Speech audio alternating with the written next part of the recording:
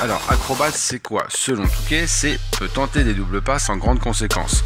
Pour ça, il va falloir faire 15 reverses, ok, plus 4 changements de main en layup.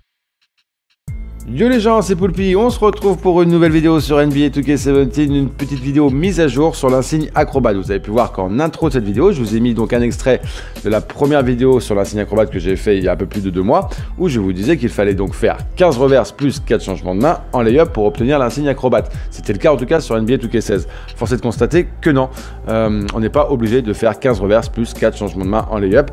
Vous allez comprendre pourquoi. Là, je vais vous mettre un extrait euh, euh, donc de comment j'ai obtenu l'insigne acrobat avec mon autre joueur, donc mon ailier fort finisseur athlétique, vous allez voir que j'ai fait un spin move. Alors dans le spin move, on peut considérer ça aussi comme un changement de main, mais par contre j'ai fait absolument aucun reverse, aucun reverse avec ce joueur-là. Je n'ai pas fait un seul, d'accord?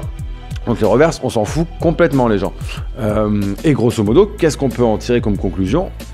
Que tir difficile, que marqueur infatigable, pardon, et que Acrobat peuvent se débloquer de la même manière.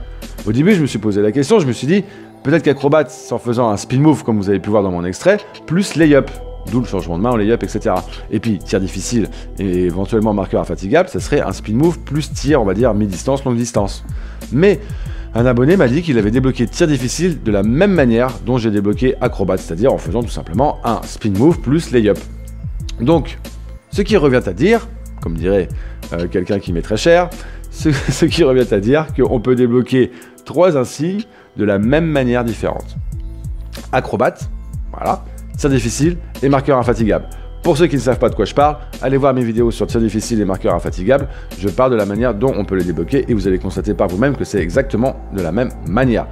Donc voilà les gens, je voulais faire une petite mise à jour par rapport à l'insigne Acrobat. Encore une fois, les reverses ne sont pas du tout obligatoire. Les changements de main, peut-être, j'en sais foutre rien, mais en tout cas, les reverses ne sont pas du tout obligatoires.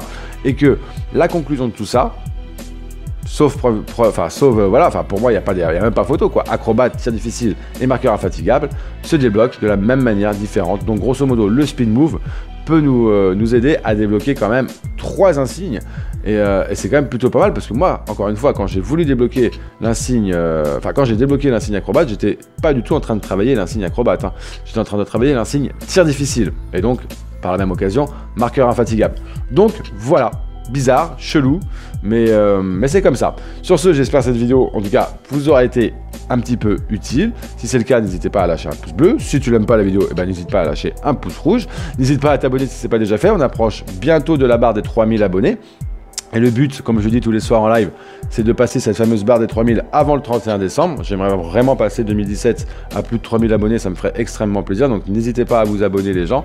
Il y a encore plein de belles vidéos qui arrivent, plein de belles choses, et même des, sans doute des vlogs qui vont arriver en 2017. Donc ça risque d'être assez sympatoche.